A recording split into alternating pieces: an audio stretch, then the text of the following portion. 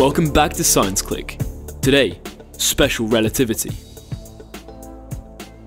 Let's imagine a spaceship, as well as a planet, isolated in the depths of the universe. Suppose the spaceship is moving relative to the planet in a fixed direction and with a constant speed. One of the first fundamental properties of the universe is that in this situation, it is strictly impossible to determine whether it is the spaceship moving and the planet being motionless, or whether it is the spaceship being motionless while the planet is moving in the opposite direction. This is known as the principle of relativity. Whichever point of view we take, as long as the movement occurs in a straight line with a constant speed, it is equally valid to consider that it is the spaceship or the planet that is moving. Let's now imagine a passenger on the spaceship who decides to throw a ball forwards. For him, the ball is moving forwards with a certain speed. This speed corresponds simply to the impulsion which was given to the ball. But if we observe the same situation from the point of view of the planet, the ball seems to be moving faster, because its speed of impulsion combines with the speed of the spaceship itself. The strange thing is, if we now try to do this same experiment with light, using a torchlight for example, we see that whichever point of view is taken, the speed of light remains the same. Regardless of whether we look at it still or while moving, whether we shine it from a fixed point or one that moves, we will always see light as moving with one same exact speed. We say that this speed of light is invariant. The speed of light is a universal constant, fundamental, underlying the very structure of our universe. In our daily lives, the speed of light is way too high to enable us to see any effect of this principle. In only the blink of an eye, a light ray travels the distance between Paris and New York six times over. Nonetheless, this subtle property of light triggers drastic changes on the way we see the world. In special relativity, one fundamental idea is that two events can occur simultaneously for one person, but at different moments for someone else. To understand, let's imagine the following scenario. The passenger in the spaceship holds two torchlights, one which he points backwards and the other one forwards. His role will be to light the two torchlights exactly at the same time. He will then look at which moment the two light rays reach the edge of the spaceship. He begins by lighting the two torchlights at the same time. Since from his point of view, the spaceship stays motionless, the light rays will propagate both sides in the same way. Thus, they will reach the two ends of the spaceship at the same moment. For the passenger, the two events are simultaneous, both light rays reach the two edges of the spaceship at the same moment. But let's now look at this same situation as it is perceived by an observer on the surface of the planet. We previously saw that the speed of light was a constant. Therefore, when the two torchlights are turned on, light will spread with the same speed on both sides. But at the same time, the spaceship is moving forwards. As such, the light ray sent towards the left will reach the back of the spaceship before the light ray on the right reaches the front.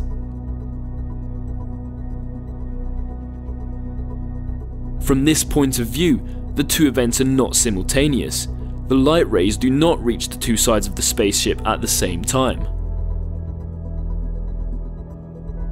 To explain this paradox, we must put to the side our intuitive understanding of time in the previous situation, if the light ray on the left reaches the edge of the ship before the light ray on the right, this is in reality because the rear of the spaceship is slightly in the future compared to the front of the ship, which is slightly in the past.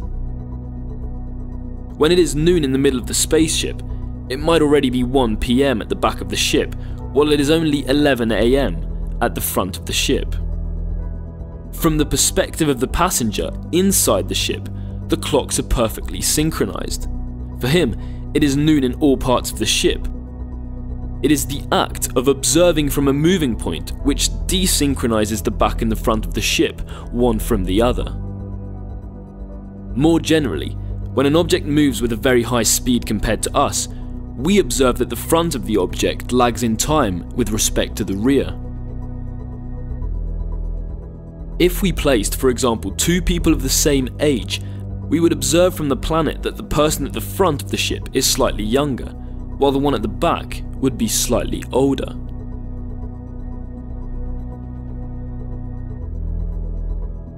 One direct consequence of this phenomenon is what we called length contraction. As we previously saw, when it is observed from the planet, the rear of the spaceship is slightly in the future. But since the spaceship is travelling in time, if the rear of the ship is in the future, it is also slightly ahead compared to its movement. Equally, the front is slightly behind compared to the movement of the spaceship. The global length of the ship therefore sees itself contracted in the direction of its speed.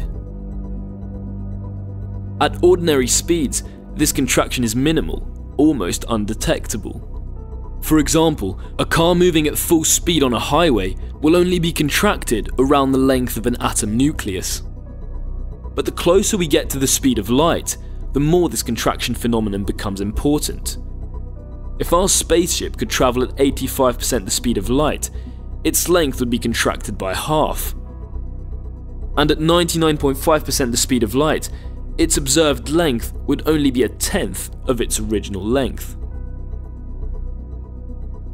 In this situation, seen from the planet, the spaceship would seem extremely contracted. But from the point of view of the passenger who is inside, it is not the spaceship that is contracted, but the planet, as from his point of view, it is the planet which is moving and not the spaceship. Finally, a third direct consequence of the invariance of the speed of light is what we call time dilation. To understand this, let's consider the following experiment. The passenger inside the spaceship will grab a flashlight once again this time pointing it towards the ceiling. At a given moment, he will turn on the light and observe the time it takes for the light ray to reach the ceiling of the spaceship. Once again, the problem changes if we decide to observe the same situation, but from the planet. For the observer on the planet, the spaceship and the passenger inside are both moving.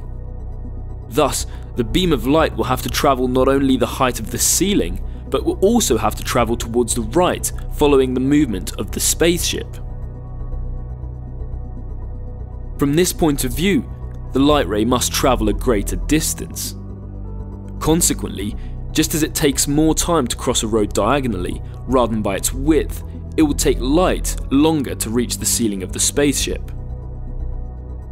For this observer, watching the situation from the planet, the light ray has thus taken more time to reach the top of the spaceship. In general, this observer will see the insides of the spaceship evolving in slow motion. If the passenger on the ship decided to show him a clock, from the planet we would see this clock tick in slow motion. More generally, when an object moves extremely fast compared to us, we see its rear and front desynchronized, its length contracted, and its evolution in slow motion. To sum up these phenomena, let's focus on the precise case of muons. Cosmic particles frequently penetrate into the high atmosphere. These cosmic particles filled with energy will progressively disintegrate until they form elementary particles which we call muons. In a normal situation, these muons have an extremely short lifespan. They disappear after only a few microseconds. However, when we try to detect them from the surface of the Earth, we see that a great number of these muons still manage to reach the ground. This paradoxical situation can be explained thanks to the phenomena which we previously saw. Since the muons falling towards the ground can reach extremely high speeds, close to 99.5% the speed of light, we need to consider length contraction as well as time dilation.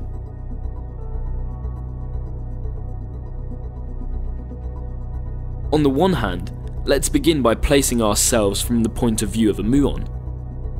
For the muon, it is the Earth, and in particular the atmosphere, which are moving very quickly in its direction. Due to length contraction, the muon will thus see a contracted atmosphere, which is much thinner, and which it will therefore have time to cross entirely before disappearing. On the other hand, if we place ourselves from the point of view of an observer on Earth, it is the muons which are moving with a very high speed. Due to time dilation, we will see the muons as evolving in slow motion, and as such, their lifespan will seem greater to us. Once again, muons will have the time to reach the ground well before they disintegrate.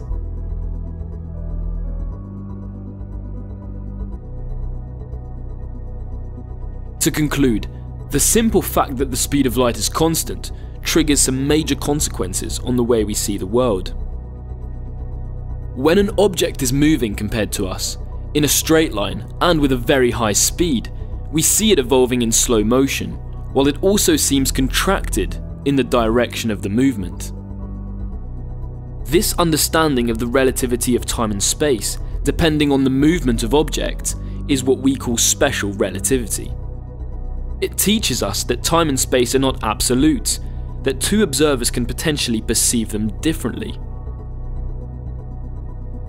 It also triggers a great number of effects, such as the fact that it is absolutely impossible to go beyond the speed of light, since to only reach this speed would require an infinite amount of energy. However, this type of relativity is labelled as special because it only applies in very simple cases, mostly for movements that occur in a straight line with a constant speed. Length contraction and time dilation are not adequate to describe other types of movement, for example changes in direction, accelerations, slowdowns, or even rotations. To do this, it will be necessary to adopt a much more thorough theory, which enables us to account for gravitational pull on the basis of a distorted geometry of space and time. This is the theory of general relativity.